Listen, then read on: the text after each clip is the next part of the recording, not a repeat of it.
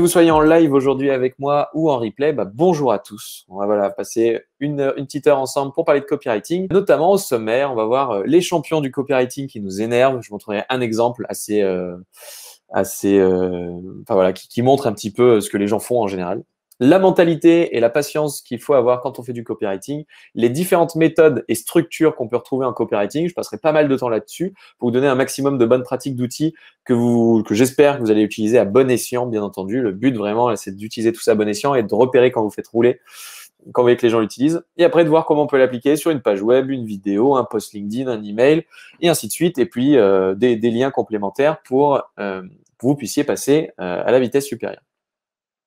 Alors, à savoir que voilà, ce, webinaire intervient dans le cadre de plein de webinaires qu'on fait. On en fait plusieurs, euh, plusieurs par mois en général. D'ailleurs, si vous voulez aller sur la page webinaire en ce moment sur Piloting, il y en a sûrement. Enfin, en ce moment, c'est sûr, il y en a trois là. Il y en a dans le référencement naturel, il y en a dans la prospection digitale avec un nouvel outil dont je vais parler euh, qui permet de faire de la prospection sur, euh, sur LinkedIn, un nouveau là, qui, qui, va, qui est sorti. Et, et, voilà, et référencement naturel aussi. En tout cas, il y en a tout le temps en permanence, donc n'hésitez pas à vous, à vous renseigner là-dessus. Et une grosse partie très importante, parce qu'on voit souvent des outils, hein, un site web, de la publicité, une newsletter, euh, prospection digitale, euh, automatisation, euh, marketing automation, tout ça. Mais ce qui est important dans tous ces trucs-là, ça reste le contenu. Et le contenu, bah, c'est ce qu'on va voir justement aujourd'hui, c'est comment faire du contenu de qualité, ou en tout cas comment structurer son contenu pour bah, qu'il puisse être utilisé correctement et qu'il puisse permettre de générer des ventes. Parce que qui ce qui nous intéresse quand même, c'est que les gens soient, on va dire, conquis emballés, qu'ils aient envie d'aller beaucoup plus loin avec vous. Et donc, tout ça passe beaucoup par le contenu quand même. Alors, qui suis-je pour vous parler euh, de ça? Alors, moi, je m'appelle euh, Julien. Euh, j'ai attaqué à 18 ans avec mon petit ordi que j'ai eu à Noël. ça fait plus de 12 ans, parce que j'en ai 30, bientôt 31. Euh, ça fait plus de 12 ans que je fais du, du, test and learn, euh, que je teste des trucs en stratégie. Euh, j'ai dépensé beaucoup de temps et aussi beaucoup d'argent à tester plein de choses. Euh, on a formé quand même pas mal de monde, plus de 3000 personnes. On a formé aussi 200, à peu près 200 entreprises en prospection digitale. Je suis prof en école, je suis le capitaine de Pilotine, une agence qui fait des sites WordPress. Et je suis en charge, très important, de la création de contenu et du marketing dans l'agence, à l'agence Pilotine. donc du coup, voilà, je vous parle en connaissance de cause un petit peu. Il y a d'autres personnes qui ont eu d'autres expériences en copywriting. Donc, si vous avez des trucs complémentaires par rapport à tout ce que je raconte, eh ben, je suis très très preneur de voir tout ça dans le chat ou en commentaire ou n'importe où si vous nous regardez en replay ou sur YouTube. Voilà. Euh, mini base et euh, en, introduction. Donc, pour introduire déjà, vraiment tout ce qu'on va voir aujourd'hui, le but, ça va être d'influencer positivement les gens. Euh, ça va pas être de les manipuler. Certes, on parle souvent de manipulation aussi, mais c'est vraiment comment influencer positivement les gens pour qu'ils aillent dans votre sens, mais faire en sorte qu'ils aillent choisir la solution qui leur va aussi. Si c'est pour leur vendre n'importe quoi, quand il y a l'expression la vente du sable à un bédouin ou les trucs dans le genre, c'est pas le but de vendre euh, voilà, de, la glace à un esquimau ou autre. On n'est pas là pour ça. Mais plutôt, bah, quelqu'un a besoin de quelque chose. Et ben, comment faire en sorte de le rallier à notre cause et de faire en sorte qu'il passe par nous pour acheter ce service, prendre ce produit ou autre. Donc, comment influencer positivement et non pas manipuler dans une relation gagnant-perdant? C'est vraiment comment avoir une relation gagnant-gagnant. Donc, on est plutôt sur comment persuader et pas comment convaincre. Euh, parce que l'avantage de persuader, euh, contrairement à celui de convaincre, c'est que vous n'avez pas besoin de mettre en place un, raisonnement avec des, arguments logiques ou autres. Justement, on va pouvoir squeezer ça. On n'est pas obligé de faire un, kilomètre. Alors, bien entendu, voilà, quand on essaye après d'entrer dans de la manipulation ou autre, on va, on va sortir plein plein d'arguments, même s'ils sont faux ou autres. Mais voilà, là, c'est en quelques secondes, quelques minutes, comment un peu plus persuader la personne que notre solution est bonne par rapport à son besoin, s'il a vraiment un besoin.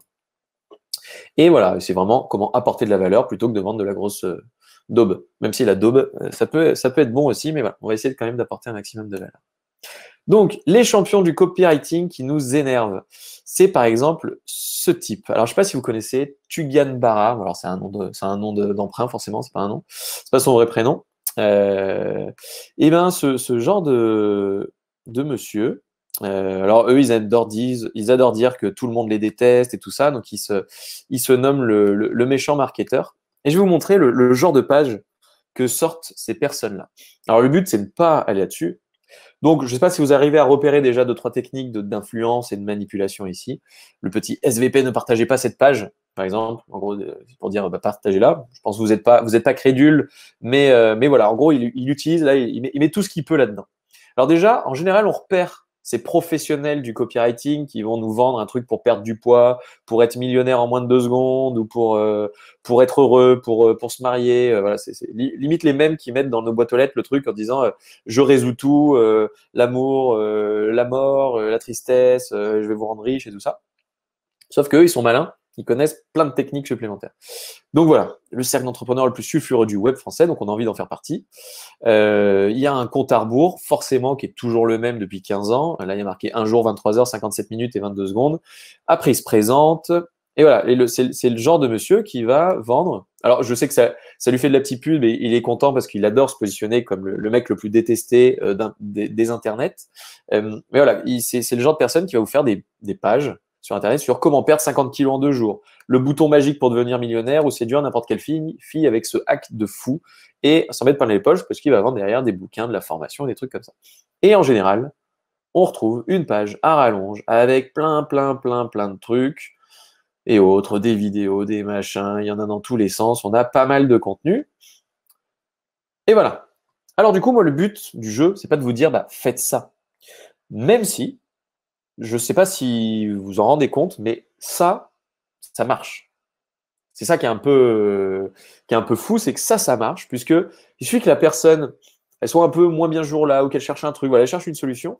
Si elle commence à, regarder un petit peu tout ça, ça fonctionne quand même, parce que là-dedans, même si sa page, en gros, elle est, elle est crado, elle est moche, euh, en termes d'image de marque, c'est une catastrophe, il n'y a, y a rien, il utilise correctement toutes tout plein de techniques intéressantes. Et moi, le but du jeu, c'est pas que vous fassiez la même chose pour vendre des trucs pour perdre l'acné ou pour perdre du poids, quoique si c'est votre métier et que vous vendez des compléments alimentaires, eh bien, bah, vous pouvez faire ça.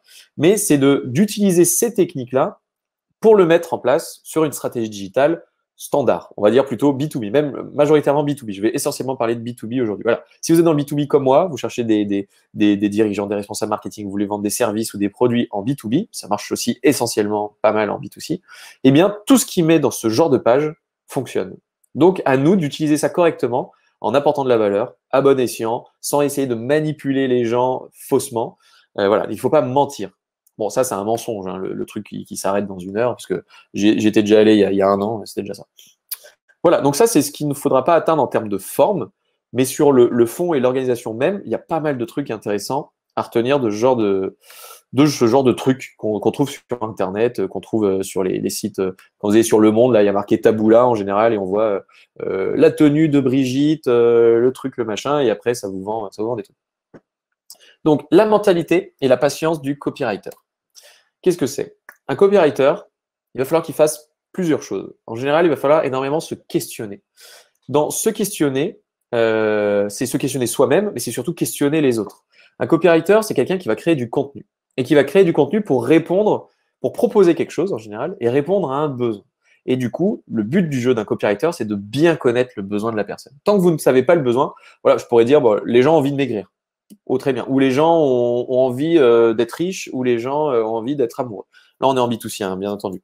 Si je me mets dans le B2B, bah, les gens ont besoin d'un site Internet. Mais est-ce que les gens ont vraiment besoin d'un site Internet? On pose la question, pourquoi tu fais une refonte de site Internet? Et là, on va me dire, ah ben non, je fais pas une refonte pour faire une refonte, je m'en fous d'un site. Moi, c'est juste, un, pour trouver des clients. Deux, c'est parce que, en fait, l'ancien site, il est tellement pourri qu'il va nous dévaloriser. Donc, c'est pour avoir une bonne image de marque. Et trois, euh, par exemple, c'est en fait pour, euh, pour mieux recruter, parce que les gens, ils comprennent rien, machin, euh, nos clients, ils sont, paumés, et du coup, pour mieux recruter des clients et pour mieux recruter les futurs collaborateurs, au final, le site est, très utile parce qu'il va falloir valoriser plein de choses pour que les gens aient envie de rejoindre l'aventure. Donc, si vous vous questionnez, vous questionnez surtout les autres et que vous obtenez des réponses des autres, vous allez avoir pas mal de feedback et vous allez connaître les fameux pain points ou points de douleur que vous allez, sur lesquels vous allez pouvoir bosser maintenant. Vous savez que les gens ne veulent pas un site, mais ils veulent un outil qui permette de prospecter, ou ils veulent un outil qui permette de valoriser leur image de marque. Ensuite, il va falloir s'inspirer. Pour s'inspirer, bah, c'est un peu ce que vous allez faire aujourd'hui en regardant euh, ce webinaire et en allant voir après les différents liens que je vous mettrai d'inspiration. Il va falloir s'inspirer en regardant bah, qu'est-ce qui se passe ailleurs? C'est quoi les autres exemples? Donc, le fameux Tougan que je vous ai montré euh, tout à l'heure, c'est en soi une source d'inspiration. C'est moche, c'est pas ce que vous voulez vendre, il se fout de la gueule du monde, mais ça fonctionne et donc du coup, vous pouvez vous en inspirer en le mettant, en l'utilisant correctement pour vos propres besoins. Et il va falloir ensuite écrire, bien entendu, le copywriting. C'est de la création de contenu, c'est de l'écriture. Si vous ne vous entraînez pas, vous allez faire une page, deux pages, trois pages, 4 pages, 5 pages. Vous avez compris le principe, vous arrivez à 100, 50, 1000, 1 million. Au bout d'un moment, vous commencerez à devenir un bon copywriter. Et c'est ces trois éléments-là qu'il va falloir en fait enchaîner. Il va falloir trouver en fait un cercle vertueux et un cycle où régulièrement vous allez questionner. ah ok, il y a tel problème, tel besoin, très bien. Vous avez besoin de mieux recruter. Moi, j'ai un logiciel RH euh, et tout ça, et pour mieux recruter, c'est en fait mieux qualifier les profils. Je veux pas perdre de temps dans la qualification. Vous allez vous inspirer, vous allez sur le site des concurrents, bon, il n'y a pas grand-chose. Vous allez sur les sites genre perdre du poids, machin, vous dites, ah, c'est pas con. Là, il propose d'abord, euh, euh, vous avez un problème, du coup, j'ai la solution, voici qui je suis, pourquoi je suis pertinent pour en parler, gna, gna, gna. Et vous allez dire, ah, je vais m'inspirer de cette forme-là pour y mettre mon fond sur le logiciel RH, comment mieux recruter, comment mieux qualifier. Et ensuite, il va falloir écrire cette, page. Et puis, vous allez faire une version, deux mois après une autre version, vous allez essayer de travailler un nouveau besoin, une autre page, et ainsi de suite. Et vous allez vous améliorer comme ça sur le long terme. Et en général, moi, par exemple, j'ai commencé à, comprendre un petit peu où je mettais les pieds au bout de un, deux mois, et à commencer à faire des textes pas trop mal au bout de 3, 4, 5, 6 mois. Il faut quand même un petit peu de temps pour commencer à maîtriser les trucs et faire les choses en fait euh, naturellement. Ok, allez, on va passer aux différentes méthodes et structures en copywriting sur lesquelles vous allez pouvoir bah, bosser un petit peu. D'ailleurs, dans le cadre de, si vous regardez en, live, bah, notez, prenez une feuille et commencez à noter un peu des petites idées. Si vous êtes en replay, bah, vous avez plus le temps, vous pourrez mettre en pause Je vais vous donner pas mal de méthodes. Le top du top, ça serait que vous partiez d'un problème, essayez de trouver un problème. Moi, par exemple, les gens veulent trouver, euh, trouver plus de clients. Et face à ce problème, vous allez essayer de, euh, en utilisant les différentes structures que je vais vous montrer, bah, d'essayer de poser vos pistes de solutions pour construire un petit peu votre discours. Alors, j'avais commencé, j'en avais parlé notamment lors du post LinkedIn. Euh, il existe un mot, parfois c'est bête, hein, mais il y a un mot qui permet de, euh, qui permet de, faire en sorte que les gens acquiescent plus facilement et qu'ils aillent dans votre sens. Ce mot-là, je je vais vous le donner après. Euh, donc l'expérience, c'est Hélène, alors Langer, Langer, je ne sais pas comment ça se prononce, qui a fait une expérience. Elle est allée dans une bibliothèque et en fait, elle a demandé à chaque fois, à chaque fois qu'une personne était en train de faire une photocopie ou était dans la queue, eh ben, elle, allait, elle a demandé à cette personne-là, enfin, il y avait quelqu'un qui demandait à cette personne-là de lui passer devant. Et pour cette expérience, elle a fait plusieurs propositions. La première fois, la personne disait, pardon, je n'ai que cinq pages. Est-ce que je peux prendre la machine parce que je suis pressé? Alors, à votre avis, mettez dans le chat, on regardera les résultats après, s'il vous plaît. Dans le chat, à votre avis, quel est le taux d'acceptation de, cette requête? Pardon, je n'ai que 5 pages. Est-ce que je peux prendre la machine parce que je suis pressé? Est-ce que tu es plutôt 20, 40, 50 ou 100% de personnes qui laissent passer la personne? Vas-y, notez dans le chat, comme ça on regardera les, les réponses après. Ensuite, deuxième proposition. Pardon, je n'ai que 5 pages. Est-ce que je peux prendre la machine? À votre avis, cette phrase, elle génère combien de réponses positives? Personne qui passe devant. Pardon, je n'ai que 5 pages, est-ce que je peux prendre la machine? Et le dernier, pardon, je n'ai que 5 pages, est-ce que je peux prendre la machine parce qu'il faut que je fasse des photocopies? On est d'accord? Il n'y a pas de raison là. Il donne aucune raison. En fait, euh, elle veut juste faire des photocopies. C'est comme la personne devant elle. Quoi. À votre avis, ça, combien de fois euh, les gens le laissent passer la personne devant? Je vais vous donner la réponse tout de suite. Donc le premier, 94. Le fait de donner la raison et d'expliquer parce que je suis pressé, donc une bonne raison, une vraie raison, 94, même si on peut dire, bon, on s'en fout que tu sois pressé, mais 94% des gens laissent passer devant. Deuxième cas, est-ce que je peux prendre la machine? On ne donne pas de raison, 60%. Donc les gens sont quand même, en gros, quand on demande, les gens font. Donc ça, c'est le fameux appel à l'action. Le dire, fais une action, les gens le font en général quand même. Même si en soi, eux aussi, ils font une photocopie. 60%. Euh, et le dernier, où il donne aucune raison valable, c'est une raison, mais elle est nulle. Euh, est-ce que je peux prendre la machine parce qu'il faut que je fasse des photocopies? On est sur 93%. Donc, ce qui est vraiment intéressant là-dedans, c'est qu'en gros, quand il n'y a pas de raison, les gens font ce que vous leur demandez dans 60% des cas, donc ça vaut le coup de demander, vous n'avez rien à perdre à demander. Donc, sur chacune de vos pages, chacun de vos emailings, chacun de vos posts LinkedIn, chacun de vos, je sais pas quoi, de vos vidéos, tout, demandez quelque chose. Si vous ne demandez rien, les gens ne feront rien. C'est plutôt euh, basique, mais voilà, l'appel à l'action. Donc, pas de raison, 60%. Une vraie raison, parce que machin, 94%, mais une fausse raison, parce que euh, moi aussi je dois faire des photocopies, 93% quand même. Et donc du coup, le mot magique, c'est parce que. C'est ce mot-là, en fait, enfin, en gros, vous donnez une raison, quoi, mais le, parce que fonctionne super bien. Donc, essayez de l'utiliser intelligemment, bien entendu. Il ne faut pas que ce soit grossier. Hein. Bonjour, tu veux pas un site internet parce que je veux te vendre un site internet? Ça ne marche pas trop. Mais le mot parce que et le fait de donner une raison, même si elle est pourrie, ça aide énormément. Donc, Si vous voyez des gens qui utilisent un petit peu cette technique, ne vous faites pas manipuler. C'est pas parce qu'ils donnent une raison, et surtout parce qu'elle est pourrie, qu'il faut vous laisser avoir. Mais bon, le cerveau est fait comme ça. Si quelqu'un vous donne une raison, même naze, en général, vous allez accepter. Donc, soyez vigilants. Ensuite, il y a, euh, donc ça, euh, ce principe-là avec euh, Hélène, il est donné dans le bouquin qui c'est de, Robert Cialdini. et Robert, en fait, il a, écrit un livre qui s'appelle Influence et manipulation. Je vous le mettrai dans les biographies à la fin. Il est vraiment tip top. Et notamment, il y a huit principes qu'on peut tirer de ce livre. Il y en a six principaux, mais là, il y en a, il y en a huit. Il y a des petits bonus que vous allez pouvoir utiliser dans vos contenus, mais même dans vos relations de tous les jours, et de faire attention, quand quelqu'un utilise ça sur vous, de dire, oula, là, je suis en train de me faire un petit peu rouler. Le premier, c'est l'effet de contraste. Je ne sais pas si vous connaissez ce test, il est assez connu. Euh, vous l'avez sûrement fait. Moi, je l'ai fait avec mes gamins il n'y a pas longtemps. Ils plongent leurs mains dans un, dans un seau d'eau chaude. Ils plongent l'autre main dans un seau d'eau froide. Et après, ils mettent leurs deux mains dans un seau d'eau tiède. Et il va dire, ah, à droite, voilà, c'est dans le seau d'eau chaude, il va dire, à droite, ça a l'air plus froid que dans celui qui est à gauche, enfin, et ainsi de suite. Le fait euh, d'avoir un contraste euh, va, va, va, nous duper un petit peu. On va avoir l'impression que le seau tiède, en fait, est plus chaud qu'il ne l'est ou plus froid qu'il ne l'est, en fonction de si on a mis notre main dans de l'eau chaude ou dans de l'eau froide. Cet effet de contraste, il marche très très bien aussi en digital et il marche aussi en manipulation. Mais comment l'utiliser intelligemment dans votre, euh, dans votre métier ou sur le web ou dans votre offre? Ben, c'est tout simplement quand on fait les fameuses offres tarifaires.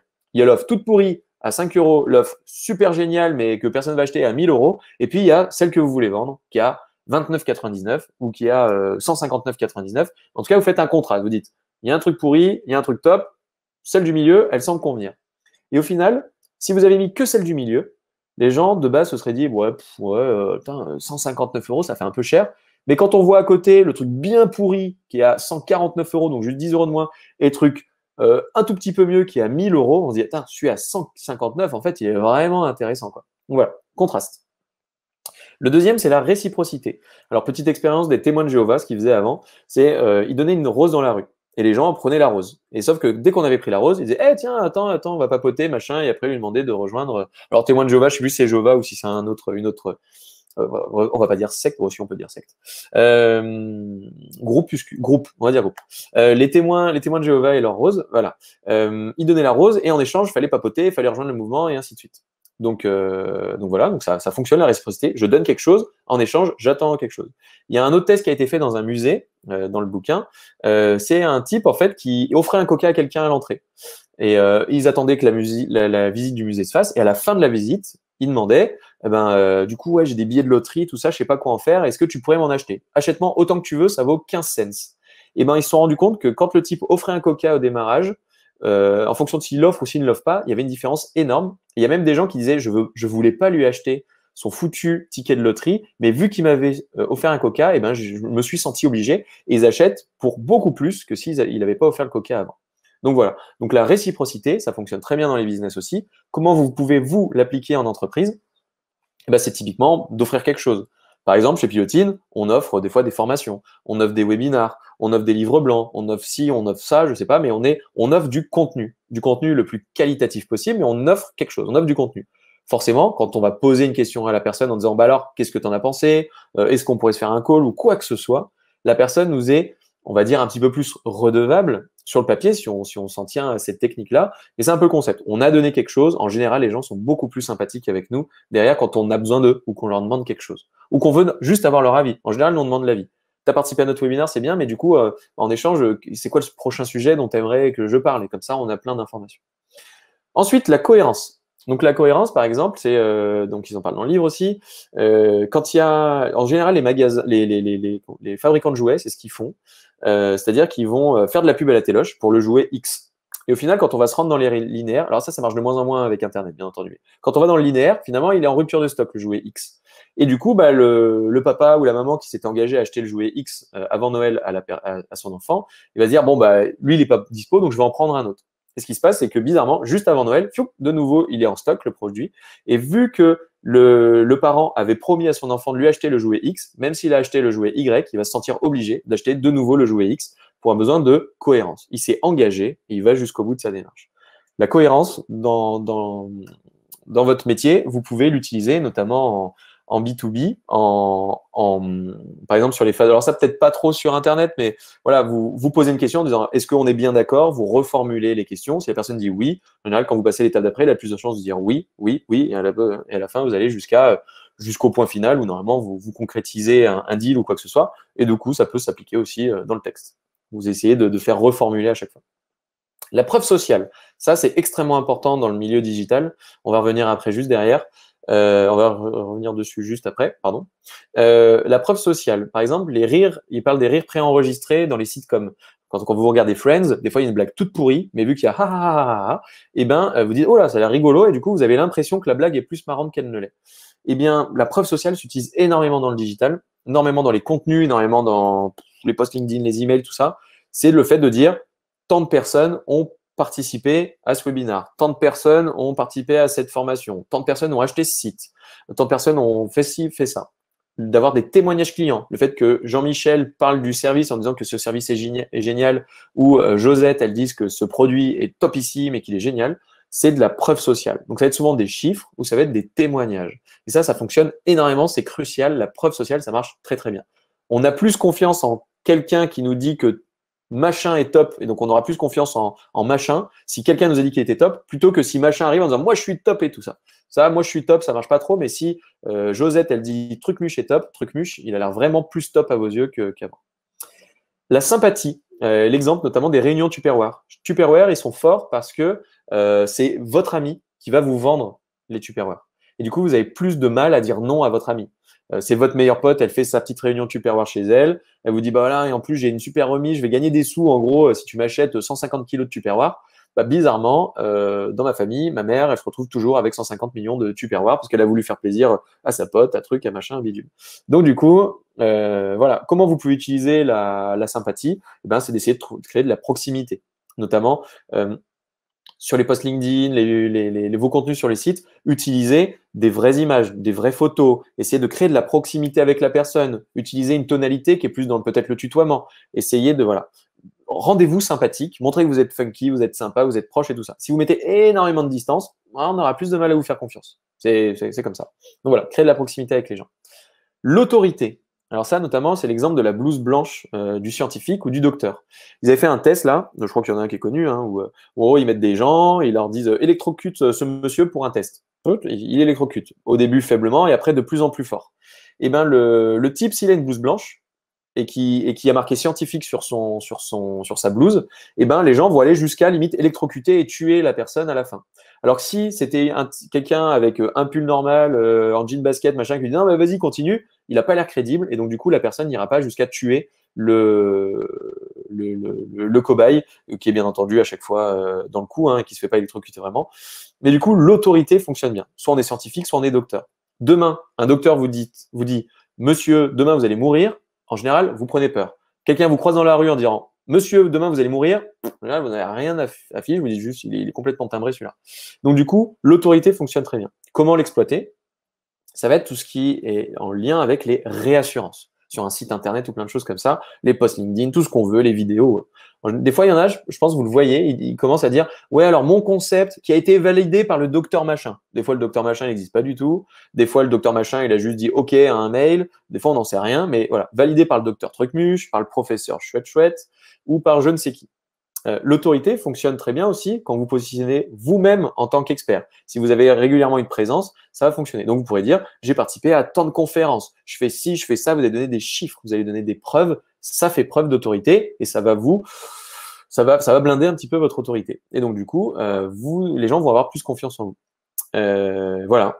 Donc, c'est pour ça qu'il y en a tellement qui font des bouquins et la préface, elle est toujours faite par euh, Xavier Niel ou par euh, je ne sais pas quoi. C'est pour utiliser cette technique de l'autorité. Si le bouquin, Xavier Niel a fait la préface, le bouquin doit être génial. Alors qu'en soi, c'est le même que s'il n'avait pas fait la préface. La rareté fonctionne très bien. Typiquement, euh, ils avaient fait une expérience où ils avaient mis des gamins derrière, derrière une, un jouet avec une vitre et le gamin de l'autre côté. S'il n'y avait pas de vitre, le jouet, l'enfant, en général, n'avait pas grand-chose à faire. Si par contre, ils mettent une vitre, l'enfant va être hyper intrigué et va vouloir contourner la vitre pour aller voir le jouet. Et statistiquement, c'était assez impressionnant. Euh, dès que le truc paraît rare et paraît un petit peu top secret, bah, les gens, ça les intéresse. D'où le fameux euh, ne partagez pas ce truc-là, attention, c'est top secret, euh, faut pas y toucher, je sais pas quoi, ça donne juste une envie d'y toucher. Moi, par exemple, je suis le premier imbécile, dès qu'il y a marqué peinture fraîche, à mettre mon doigt sur la peinture pour voir si elle est fraîche, et à chaque fois, je me dis, ah bah oui, elle est fraîche. Voilà. Euh, petit moment de, solitude à chaque fois. Et euh, le dernier, qui est le déclencheur. le déclencheur, bon, qui est un peu en lien avec la rareté aussi, ou, la valeur qu'on donne aux choses, c'est plus la valeur. Il y avait une expérience, c'est quelqu'un qui l'avait pas fait exprès. En fait, elle a mis une, c'est un, une bijouterie, et elle avait donné en fait comme instruction à la personne dans la boutique de diviser par deux le prix de certains bijoux qui ne se vendaient pas. Et par exemple, cinq bijoux, ils se vendaient pas, elle avait marqué un demi. Et elle avait laissé le, elle avait laissé l'étiquette. Et la personne du magasin n'avait pas compris le un demi, elle avait compris x2. Et du coup, elle a doublé le prix des bijoux. Et le soir, quand elle est revenue, la, la, la, patronne de la bijouterie, eh ben, elle s'est rendue compte que tous les bijoux avaient été vendus. Elle a dit, ah, bah, super chouette, ça a bien marché la promo. Et l'autre a fait, mais quelle promo euh, J'ai pas fait de promo, on a doublé le prix. Et donc, du coup, ils se sont rendus compte que, bah, en fait, en donnant une meilleure valeur à, une meilleure valeur à, euh, leur produit, bon, au final, les gens bah, trouvaient que ça avait l'air plus intéressant. Et c'était plus cher, mais ça avait l'air plus intéressant. Du coup, ils l'ont plus acheté plutôt qu'un truc à moitié prix. Voilà, donc ça crée un déclencheur, un déclencheur d'achat. Donc ça, bah, vous pouvez l'utiliser sur vos sites en donnant de la valeur à ce que vous faites en disant pas juste ce truc il est gratuit, ce truc machin, mais c'est dire ce truc j'ai mis je sais pas combien d'heures à le créer, ce truc j'ai fait ci, j'ai fait ça, ça donne de la valeur, ça donne du crédit, du coup les gens ils ont ils ont l'impression d'avoir un truc un peu mieux. Comme par exemple si vous avez un service, euh, ça peut être bien pour vous ça. Euh, si vous avez un service, je sais que je l'avais fait une fois. Par exemple nous des fois on a des trucs dans nos prestations. Potentiellement c'est un truc qui va nous prendre genre une minute parce que c'est déjà un peu prêt à l'emploi et boum on duplique et tac tac. Bah, sauf que quand vous faites ça, vous dites Ah, bah, ça m'a pris une minute, le truc, il n'a pas de valeur. Par contre, si vous dites Attends, je le fais, je reviens vers toi la semaine prochaine, je bûche dessus et je te le donne, ben, en fait, vous faites rien, mais vous l'amenez la semaine prochaine et du coup, la personne accordera beaucoup plus de valeur à votre prestation ou à votre produit si, euh, si, ça met un peu plus de temps. Typiquement, ce qui marche bien, c'est les précommandes. Si vous savez que votre vélo, là, euh, comment il s'appelle, le mec de Mythique, là, il a monté une marque de vélo. Il y avait, je sais pas, genre 2, 3, 4 mois d'attente pour avoir son vélo. Bah, les gens se sont jetés dessus parce que ce vélo a l'air génial. S'il avait dit tout de suite, le vélo est en stock, vous pouvez l'acheter dès que vous voulez, il y aurait sûrement, sûrement eu moins de demandes. Ok. Alors, on va passer à une, autre méthode, la méthode PASOA. Alors, je ne sais pas si vous connaissez le PASOA. Enfin, le PASOA, du coup, c'est la liqueur euh, fruit de la passion. Enfin, pas la liqueur, c'est de l'alcool euh, qui, est, euh, avec goût fruit de la passion. Et du coup, la méthode PASOA, donc en, cinq lettres, oui, cinq lettres, c'est pour ces cinq mots-là. Le premier, c'est problème. Le deuxième, c'est agitate. Le troisième, c'est solve, outcome et action. Donc en gros, le premier, c'est, on va parler d'un problème. Et ça, c'est la structuration même qu'on devrait avoir pour un texte. C'est-à-dire que le texte, il commence toujours par un problème. Quand on veut pousser quelque chose. voilà, vous voulez perdre du poids, euh, vous voulez mieux recruter, vous voulez enfin euh, trouver des clients sur votre site grâce à votre site internet ou je ne sais quoi. Ensuite, on va agiter. Par agiter, c'est on va rajouter une petite couche en disant eh oui, parce qu'en fait, ça prend, ça met du temps à faire un site internet et puis euh, et puis et puis s'il est mal fait, si votre référencement il est mal fait, ben du coup vous risquez de perdre encore plus de clients et puis si et puis ça. En gros, on va alors remonter plein de bourrichons. Ensuite, on va faire solve. Ah ben, on a une solution, mais nickel pour vous, quoi. Parce que notre site, il va être sécurisé, optimisé pour le référencement. Il va être ci, il va être ça. On va le faire en moins de deux semaines. Vous sortez toute votre solution. Outcome, c'est les résultats. comme notre client X ou Y, eh ben, vous allez obtenir 450% de croissance. Vous allez faire x2 de vente. Vous allez faire ci ou ça. Vous allez donner des chiffres. Et ensuite, action. Bah, il n'y a plus qu'à passer à l'action. Euh, demandez votre audit gratuit, euh, demandez un devis, contactez-nous, faites ci, faites ça. Donc voilà un peu la, méthode. Et cette méthode, honnêtement, elle n'est pas trop mal. Elle peut se décliner, bien entendu, mais elle, peut s'utiliser correctement un peu partout. Donc, bien sûr, il ne faut pas y aller comme un gros saligo. Euh, ne l'utilisez pas voilà, à, fond, euh, voilà, mais de manière intelligente, si votre contenu est structuré comme tel, franchement, c'est pas mal. Alors, petit exemple. Alors, il n'est pas très net, désolé. Euh, donc, où se cache notre PASOA dans cet exemple? Donc là, c'est pour pousser les gens à s'inscrire à une newsletter tu voudrais mieux utiliser ta newsletter, donc c'est newsletter sur les newsletters, bien entendu, c'est un peu bizarre, mais tu voudrais mieux utiliser ta newsletter pour affiner ton message, mieux cibler tes clients, fluidifier tes ventes. Je vais te montrer comment envoyer de meilleurs mails en 10 micro-leçons, une par jour, pendant 10 jours. C'est spécialement conçu pour une relation durable et riche avec tes abonnés. Et à la fin, oui, je veux envoyer de meilleurs mails. Donc ça, c'est sur un site. Eh bien, si on regarde un peu où se trouve Paso là-dedans, c'est plutôt simple. Problème, c'était le premier. Agitate, il est ici. Solve, c'est tout ce qu'on va montrer dans, ces fameux newsletters. Outcome, les résultats, relations durables et riches avec tes abonnés. Et action, oui, je veux envoyer de meilleurs mails. Donc là, quand je vous ai demandé tout à l'heure de noter un peu le, problème, bah, essayez de respecter un peu ce cadre-là et vous allez voir que vous allez pouvoir parler de votre produit d'une manière différente, parler de votre service d'une manière différente et amener le truc intelligemment. Et cette structure-là, elle est bien foutue, elle est intelligente. C'est pas forcément de l'influence ou de la manipulation là, mais c'est vraiment comment construire intelligemment son, euh, son contenu pour qu'il fasse sens. En disant ah ouais ok j'ai un problème. Ah ouais mais en fait mon problème il est plus important que ça encore et je le savais pas. Euh, ah ouais, donc pour le résoudre, j'ai ça, ça, ça, ça, ça. En plus, ça me donnera des résultats de ouf. Ah bah oui, bien entendu, je, veux envoyer de meilleurs mails. Donc, boum, je clique sur le bouton. Deuxième méthode, la méthode AIDA. Alors, AIDA, c'est pas comme AIDA euh, euh, de, qui était chez CNews avant. Euh, c'est une méthode aussi, donc c'est quatre lettres pour attention, intérêt, désir et action. Pour être tout à fait honnête avec vous, Aïda, Pazoa, machin, ça se ressemble plutôt. Vous commencez à comprendre le principe. Donc, au début, vous allez devoir faire en sorte de choper l'intention de votre interlocuteur en, attirant son, attention. Ça, ça s'utilise peut-être un peu plus sur LinkedIn, par exemple, par rapport à un site. Sur le site, on va mettre tout de suite le problème. Vous voulez, euh, vous voulez euh, mieux qualifier vos prospects. Euh, peut-être sur LinkedIn, on va dire l'attention, c'est j'ai trouvé une méthode infaillible pour mieux qualifier mes prospects avec plein d'émojis et tout ça, tout ça, tout ça. Mais en tout cas, vous allez vouloir attirer l'attention en mettant un truc un peu choc. Boum Ensuite, vous allez essayer de, de, de, de, choper l'intérêt de la personne. Donc là, vous allez donner une grande idée. Bah, pour, euh, pour mieux réussir, eh ben, je fais ci, je fais ça. Vous allez raconter un peu le truc. Vous allez créer du désir derrière. Vous allez raconter votre histoire, donner, euh, donner des chiffres, donner plein de choses. Et à la fin, passage à l'action. Donc ça ressemble quand même pas mal. Hein. Donc AID, euh, AIDA, pardon, pour attention, intérêt, désir, action. Le problème, à chaque fois, vous voyez, dans l'accroche, on peut parler d'un problème, ou dans la méthode PASOA, on a le fameux problème aussi. Eh bien, ce problème, il faut qu'il soit dur. Donc, encore un autre concept. Ne vous inquiétez pas, on a. J'en viens bientôt à bout. Il y en a encore quelques autres qui sont importants, et après, comme ça, on regardera euh, comment, comment les appliquer. Le problème, il faut qu'il soit dur. Donc, DUR pour douloureux, urgent et reconnu. Encore une fois, si vous êtes en B2B comme moi, si vous voulez valoriser votre image de marque, si vous voulez faire quoi que ce soit, ne faites pas n'importe quoi avec ça, mais en tout cas, il faut bien maîtriser le problème et il faut vraiment que ce problème, voilà, il soit, euh, vraiment pertinent. Et pour, pour justifier de sa pertinence, il faut qu'il réponde un petit peu à ces trois critères. Par exemple, chez nous, est-ce que le fait qu'un site internet puisse aider nos clients à trouver des clients est important? Est-ce que c'est dur? Est-ce que c'est douloureux de ne pas avoir de clients? Un petit peu quand même. Est-ce que c'est urgent d'avoir des clients quand on n'a plus de clients? Un petit peu quand même. Et est-ce que c'est reconnu? Est-ce que les gens savent qu'ils ont besoin de clients? Un petit peu aussi. Donc voilà, ce problème-là, il est plutôt identifié. Mes clients, moi, chez Pilotine, ils ont besoin de, trouver des clients via euh, le site qu'on va leur faire. Ou... Mais de toute façon, de base, ils ont besoin de trouver des clients. C'est douloureux, c'est urgent et c'est plutôt reconnu. Donc ça peut être d'autres choses. Hein. En B2C, il y a le fameux je veux perdre du poids. On se sent trop gros, on veut perdre du poids, c'est douloureux, c'est urgent. Parfois, est-ce que c'est reconnu? Eh, Peut-être pas trop. À part si la personne dit vraiment je veux perdre du poids. Mais voilà. Donc, en tout cas, il faut que ce soit un problème dur. Autre concept et technique, et après on arrêtera avec les concepts et techniques. Mais autre concept et technique, du coup, l'urgence. Ça s'utilise beaucoup. C'est pas dans le truc d'influence et manipulation. Enfin, il, en parle quand même. Mais l'urgence, ça s'utilise énormément, notamment dans le web. On verra un exemple de ouf où c'est tout full urgence. L'ancrage. L'ancrage, c'est intéressant, euh, notamment pour donner de la, de la, valeur à votre, à votre service ou autre. Euh, bah, ça peut être du coup de dire, bah, ce truc-là, il vaut en fait 10 000 balles. Mais ces 10 000 balles, je vous les fais pour 1000 euros, par exemple. Ça, c'est très, très utilisé dans la formation, dans les trucs un peu, euh, les attrape-nigo sur Internet, mais à voir comment vous pouvez l'utiliser intelligemment. Mais c'est en gros, le truc, c'est plutôt donner de la valeur à votre service.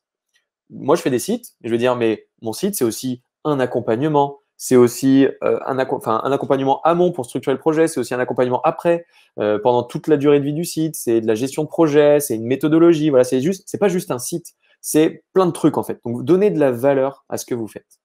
Ce qui permettra de mieux ancrer, et après vous direz, tout ça, les gens vont dire, tout ça, ça doit être 10 millions de balles. Bah non, tout ça, c'est pas 10 millions, c'est juste euh, 1 million, 10 fois moins cher. rendre le prix non pertinent et non comparable. Ça, c'est pas mal. Ça peut s'appliquer de partout aussi. Donc, euh, parce qu'il y aura toujours moins cher que vous, il y aura toujours potentiellement plus cher que vous aussi. Euh, du coup, pour éviter que les gens se disent ah ouais mais là je compare deux trucs identiques et il est plus cher donc je vais pas le prendre, c'est de se dire bah, je vais le rendre non comparable. Par exemple, si moi je vendais juste un site en disant mes sites ils sont à 500 balles, en soi vous pouvez trouver des sites à 0 euros. Si vous faites un site avec Wix, c'est 0. Du coup, pour faire en sorte qu'il soit incomparable et qu'il ait sa valeur propre intrinsèque, eh ben, c'est pour ça qu'on crée un truc sur mesure qui va essayer de répondre à un maximum de besoins, mais je vais éviter de le rendre comparable. Sinon, il a plus trop de valeur. Ou alors, il a juste sa valeur financière. Et c'est dommage. Donner des résultats atteignables. Quand vous parlez de résultats, essayez toujours de donner des trucs un petit peu chiffrés. Donc, c'est-à-dire qu'il faut que ça réponde au, au fameux concept SMART. SMART, c'est spécifique, il faut que ce soit un besoin bien spécifique, bien détaillé. Mesurable, c'est X euros de gagné, c'est tant de pourcentage de machin. Il faut que ce soit acceptable et atteignable. Faut pas que vous vendiez du rêve, quoi. Euh, si vous dites que vous allez euh, accroître leur trafic de 20%, faut que vous puissiez le faire à tous les coups. Si c'est des fois 0 et une fois sur 1000, 20, ça marche pas trop. Ou alors, faut dire jusqu'à 20%. Dans ce cas, on ment pas. faut que ce soit réaliste et faut que ce soit temporellement défini. Les 20%, vous allez gagner en un mois, en un an, en 10 ans, j'en sais rien mais d'essayer de donner des résultats vraiment euh, smart. Et alors cette idée d'objectif à mettre en avant pour vos prospects, c'est-à-dire que le prospect, il veut toujours qu'on lui arrange un peu le, son, boulot. Donc à la fin, on peut mettre dans les, dans les, dans les petites, quelques petits arguments. C'est facile, tout le monde peut le faire, c'est la meilleure solution pour ce problème, vous allez gagner du temps, vous allez économiser de l'argent, vous n'avez rien à perdre, c'est le moment ou jamais. Mais voilà, pareil, hein, n'abusez pas trop avec ça, mais bon, si ça peut vous aider, vous avez quelques petites formules. Et je vais vous montrer le champion toute catégorie de la alors, influence, manipulation, euh, quel que soit le nom qu'on donne. Alors, je ne sais pas si vous connaissez ce, site. Je serais curieux de voir si vous l'avez reconnu. Je pense que oui. J'ai fait exprès de ne pas mettre le, le logo. Mais il s'agit de Booking. Et alors, Booking, alors eux, c'est des champions du monde niveau 4, enfin, catégorie, je euh, je sais pas quoi. Bon, à part le truc Covid qui, s'est rajouté. Donc, déjà, ils nous donnent des niveaux, donc il y a de la gamification, machin, donc on a trop envie de revenir pour gagner des points, pour avoir ci, pour avoir ça. Ils commencent direct, ils n'ont pas le temps, quoi. Ils nous disent 75% des établissements ne sont pas disponibles. Boum, rareté. À donf, quoi. Ils attention, voilà. En gros, t'es trop nul, Julien, t'es une grosse quiche. T'es arrivé trop tard, il y a déjà 75% des établissements qui sont pas bons. Donc, s'il te plaît, euh, reviens, plutôt la prochaine fois. Comme ça, on dit, mince, il faut que j'aille tous les jours sur, euh, sur Booking. Ensuite, ils donnent des chiffres. Euh, du coup, ce qui permet de dire, là, il y a de la masse, quoi. 164 établissements. Très bien. Alors, là, ici, on a des offres spéciales, privilèges. Il va nous mettre les notes, preuves sociales, les notes preuves sociales. On a, alors ça, c'est les étoiles. Ouais, donc ça, non, ça, c'est pas les notes. Ah. Pardon, j'ai cliqué. Donc, les notes, c'est preuve sociale. Il y a le très bien, donc il en rajoute une couche. Il met le nombre d'expérience, donc encore une fois, preuve sociale. Ensuite, il va faire le coût de la valeur. Il va donner une valeur au truc 155. Sauf qu'il va faire une remise. Donc là, remise en permanence, machin, 133, juste pour vous. Donc du coup, ça vaut le coup, il faut y aller. Euh, si on clique après, alors Addison Blue, je ne sais pas trop s'il est plein celui-là, mais c'est pas grave, on va cliquer. En général, on se retrouve avec des trucs en rouge qui clignotent partout. On va voir si c'est le cas. Euh, alors, est-ce que ça clignote? Alors, ils en rajoutent l'un de nos meilleurs choix sur Lyon. Euh, il y a tous les équipements, donc là, on va être sur les réassurances. Alors, ça, c'est pas, pas autorité, mais bon, en gros, il va donner des réassurances en disant, bah, il y a ci, il y a ça et tout. Euh, là, il y a les pourcentages de réduction. Bon, alors, sur cet exemple, forcément, ça marche pas, mais en général, voilà, si. Plus que quatre options sur notre site. 50 personnes sont en train de consulter ça. il, y avait, il y a eu trois réservations il y a moins de 5 minutes. Il y a ci, il y a ça, ils en mettent dans tous les sens en général. Et là, étonnamment, alors je suis pas sur un truc, euh, soit il y a beaucoup de dispo sur celui-là, soit j'en sais rien, mais normalement, il y en a dans tous les sens en disant euh, attention, on a eu trois réservations, euh, il y a plus de place, il y a ci, il y a ça, vous êtes le quatrième à passer sur cette fiche aujourd'hui, et ainsi de suite. Ils sont au taquet. Annulation gratuite. là, plus que 5 à ce prix. Ah, plus que 5 à ce prix sur site, et ainsi de suite. Bon, je pense que vous avez, vous avez compris. Plus que 2 à ce prix et tout ça. Ils mettent énormément de rareté ils mettent énormément d'urgence, ils mettent énormément de preuves sociales et ils mettent énormément de réassurance. Ils utilisent plutôt bien quand même euh, ces techniques-là. Alors, moi, perso, je trouve que des fois, ils sont un peu bourrins, mais bon, ça marche. Hein, je, réserve encore mes nuits, euh, mes nuits sur, euh, sur Booking.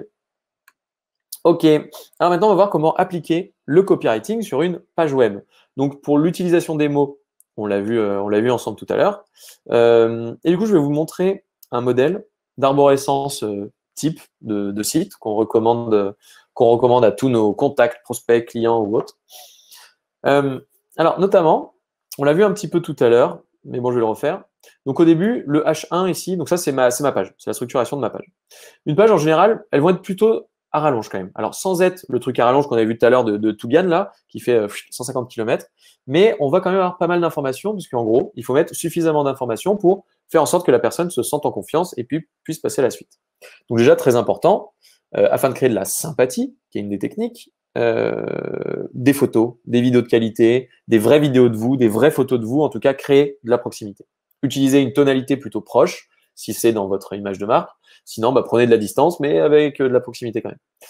Euh, donc là, en haut, on pourrait, si on est sur un article de blog, par exemple, le H1, avec les bons mots-clés, mettre le problème. Euh, alors, soit le problème, soit le truc qui attire l'attention avec la méthode AIDA. C'était de dire, euh, par exemple, vous les voyez souvent, le top 5 des plugins pour faire ça, le top 3 des machins pour faire ci, les 10 conseils pour ci ou pour ça, ou comment, comment, comment gagner plus de leads avec machin, ou comment optimiser son truc. Donc, soit le problème, soit on attire vraiment l'attention. Ensuite, en général, on va refaire un petit peu alors, preuve d'autorité ou en tout cas, eh bien, euh, expliquer en quoi on est pertinent pour parler de ça, ce qui va permettre d'être dans la cohérence et de faire un petit peu de l'autorité. Euh, donc, pourquoi je suis pertinent? Parce que euh, chez Pilotine, ça fait 8 ans qu'on fait des sites internet, on en a sorti plus de 250, on fait ci, on fait ça. À vous de sortir les stats qui vont bien, mais de raconter l'histoire pour rassurer la personne en disant OK, cette boîte-là, elle est pertinente par rapport à ce qu'elle propose. Ensuite, les fameuses réassurances. Les réassurances, c'est ce qui va permettre de dire voilà, euh, ça peut faire aussi preuve d'autorité. On est ISO 9001, euh, on a tel label RSE, on a tant de salariés, on a ci, on a ça. On va rassurer la personne.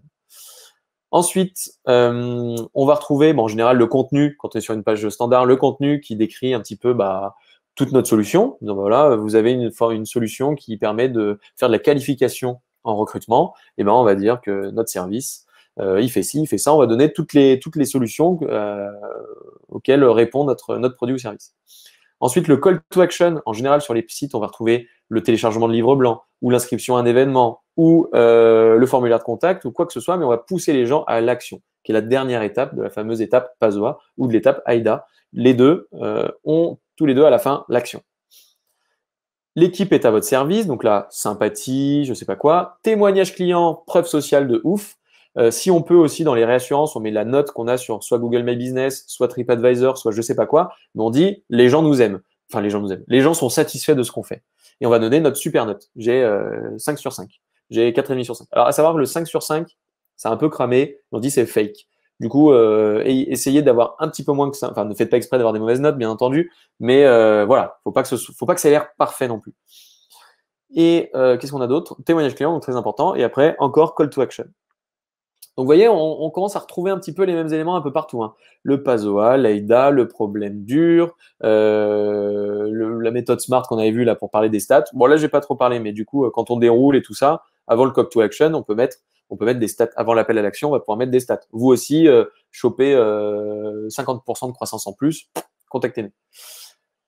Et voilà, on voit un peu nos concepts. Et ensuite, si je vais sur les autres pages, donc sur la page tarif, si vous avez bien écouté, ben, nos offres, en général, on a une offre phare qu'on va mettre en comparaison avec une offre euh, pas beaucoup moins chère, mais carrément moins bien, et une offre pas beaucoup, enfin beaucoup plus chère, et, euh, mais pas beaucoup mieux.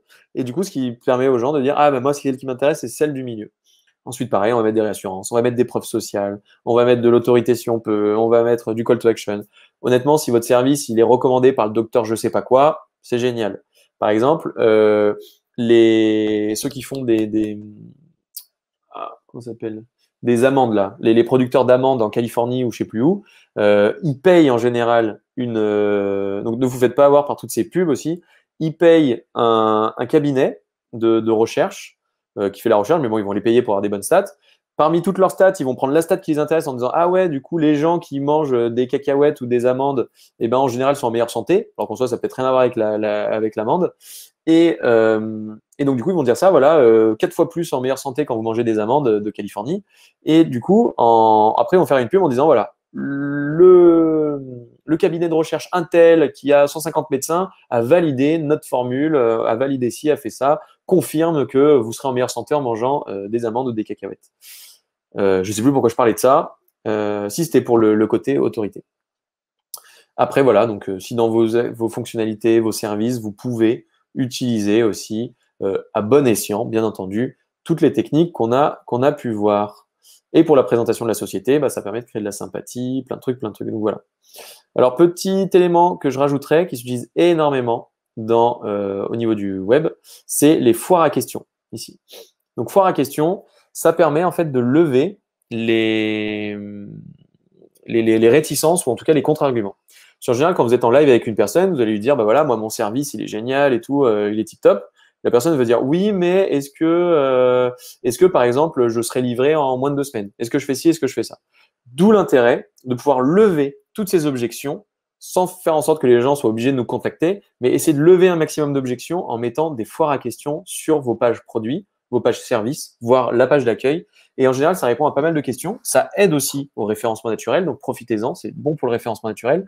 Mais n'hésitez pas à mettre sur pas mal de pages de contenu sur vos sites des foires à questions. Ça permettra de lever les objections, de créer du contenu, de faire du référencement naturel et surtout d'aider l'utilisateur à avoir les réponses à toutes ces questions et à avoir confiance en vous et à passer à la suite.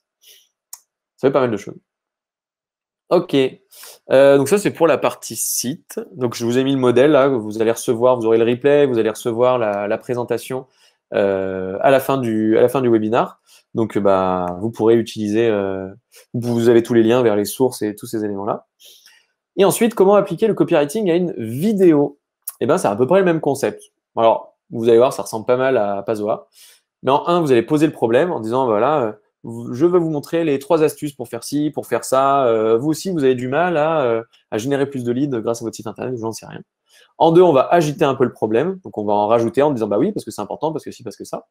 En trois, on va expliquer en quoi on est légitime. Et en général, dans la majorité des vidéos YouTube que vous voyez, de, gens qui essayent de vous vendre des formations euh, à la mort, moi, le machin, on, on voit qu'en général, ils vont dire, Bonjour, euh, vous aussi vous avez du mal à, faire les fins de mois et vous avez envie d'obtenir un, revenu complémentaire.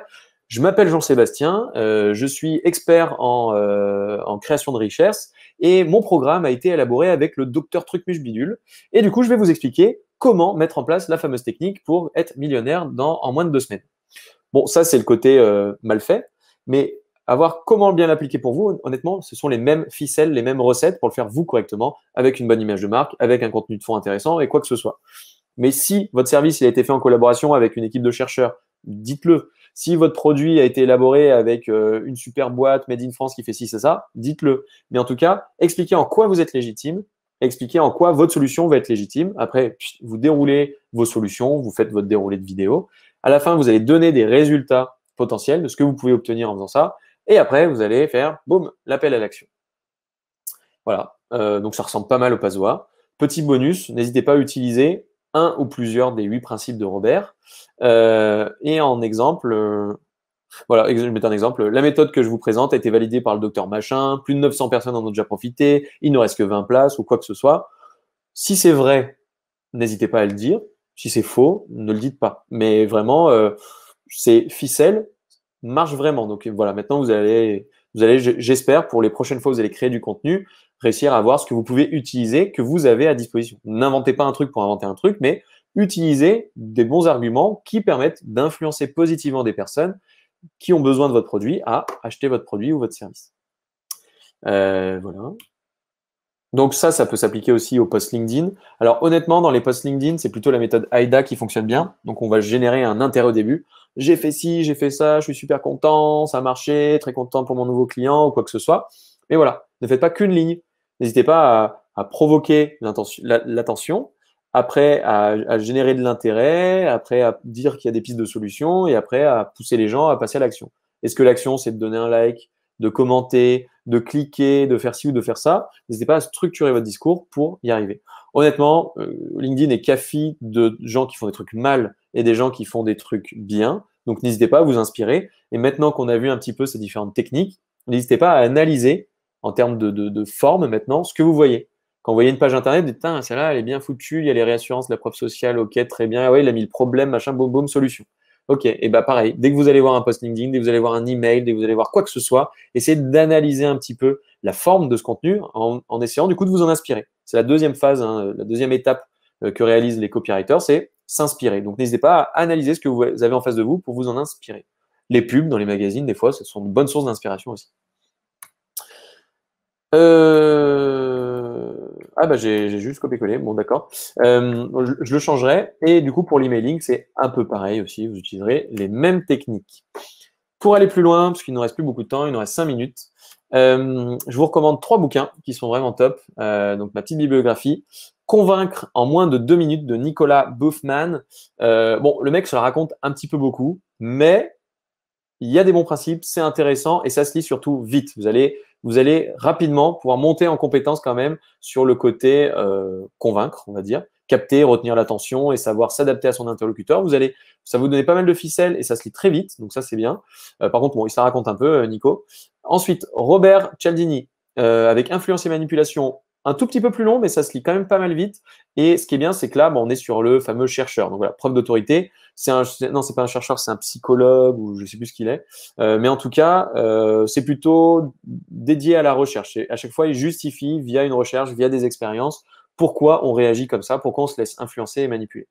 Et après, on a le bon bourrin, l'américain euh, au taquet, Jim Edward, qui là nous en fait des, caisses et tout sur le copywriting, mais son livre est bien intéressant un petit peu plus long à lire, euh, mais c'est écrit en gros et tout, c'est le truc bien américain de 400 pages. Euh, c'est bien écrit gros. Et il donne pas mal de retours d'expérience, c'est très personnel, c'est vraiment ce qu'il a vécu. Donc c'est très très intéressant de voir aussi ce que vivent d'autres personnes, d'autres copywriters. Parce que lui, il fait ça depuis un bail maintenant. Donc ça, c'est ma petite bibliographie. Et ma YouTubeographie, eh ben, j'en aurai une. Alors, si ça vous intéresse, vous pouvez chercher euh, Tarba. Non, Tougan, euh, je sais plus comment il s'appelle. Euh, je dit tout à l'heure. Euh, je vous le remettrai en lien. Et euh, mais YouTubeographie plutôt Marketing Mania, qui est bien spécialisé là-dedans. Donc lui, il fait des formations en, copywriting. et il a fait deux vidéos qui ont été bien vues là. Vendez-moi ce stylo ou cette technique de persuasion du loup de Wall Street. Et, et, ce type-là, en fait, il crée des contenus vidéo dédiés au marketing. Donc vraiment, je, je vous le recommande, c'est vraiment bien. Dédié au marketing. Et à chaque fois, il analyse le fonctionnement. Par exemple, il avait fait une intéressante sur, euh, sur des rappeurs. Ils avaient expliqué pourquoi les rappeurs créent de la rareté, machin. C'était des types qui faisaient pas d'interview, un peu comme les. Euh, comme, euh, comme, comme, comme, mince, ceux qui font de la, musique électronique en France, là, qui sont séparés il y a pas longtemps. Ah, je me souviens plus. Bon, c'est pas grave. M'en souviendrai. Ceux qui ont un, casque. Bon, c'est pas grave. je vais le revoir. Je vois, que vous le mettez dans les commentaires. Euh, c'est plus de je me souviens plus de. Bon, c'est pas grave. Euh, en tout cas, Marketing Mania, il analyse tous ces trucs-là et il est vraiment, euh, il est, il est vraiment bon. Et, c'est très, très intéressant parce que vraiment, il va essayer de décrypter pourquoi les gens réagissent comme ça. Et euh, il a plein de conseils en marketing très, très intéressants. Il a un podcast. Il est très, très prolifique. Il est vraiment super, super top. Et lui, il est très bon sur le côté sympathie et sur le côté autorité. Parce que sur le côté autorité, il va toujours s'appuyer sur des, euh, analyses, des recherches, des machins, des bidules. Et sur le côté sympathie, euh, on, enfin voilà, il, crée une grosse proximité avec son audience, c'est vraiment pas mal. Et voilà, mais en tout cas, n'hésitez pas à, maintenant essayer d'aller, de voir un peu plus loin que ce qu'on vous raconte, d'essayer de décrypter un peu tout ça et surtout de vous en inspirer pour l'utiliser à bon escient pour accélérer vos ventes et votre marketing. Si ça vous intéresse, j'ai fait d'autres webinaires sur le sujet prospection emailing, prospection LinkedIn, réaliser son cahier des charges, combien coûte un site internet, tous ces éléments-là. Là, maintenant, je suis carrément cramé avec ce webinaire, mais vous vous en rendez compte. J'essaye de créer avec vous de la sympathie. J'essaye de vous donner du contenu. Donc, j'essaye d'être dans la, dans, la, dans la réciprocité. J'essaye d'être dans tout ça. Mais je le fais. Ça me fait plaisir. Ça me permet de, de structurer la démarche. Ça me permet d'améliorer ma boîte, d'améliorer nos process. Donc, vraiment, je vous invite à faire cet exercice. Mais depuis que j'ai découvert la prospection, et depuis que j'ai, enfin, la prospection digitale et que je l'applique vraiment bien, et depuis que j'ai découvert le copywriting, pour être honnête avec vous, on n'a jamais aussi bien bossé pour nos clients parce que maintenant on connaît bien leurs problèmes, on sait les adresser, on a créé des outils pour les attirer, mais ces outils-là nous aident au quotidien. Donc vraiment, je vous invite à faire la même chose dans vos boîtes, c'est assez intéressant. Et si ça vous intéresse, on a des liens vers nos outils magiques, tous les outils qu'on recommande, qu'on utilise chez Pilotine et qu'on recommande à nos, clients. Et vous avez les liens vers tous les webinars. Et euh, si ça vous intéresse, comme je disais, il y a un prochain webinar sur le référencement naturel, sur la prospection LinkedIn. Et eh ben, je vous souhaite à tous une excellente journée. Euh, et puis, euh, à la prochaine. Restez connectés si vous voulez voir les prochaines dates de webinars, notamment sur le référencement naturel et sur la prospection sur LinkedIn et email. À plus. Ciao, ciao.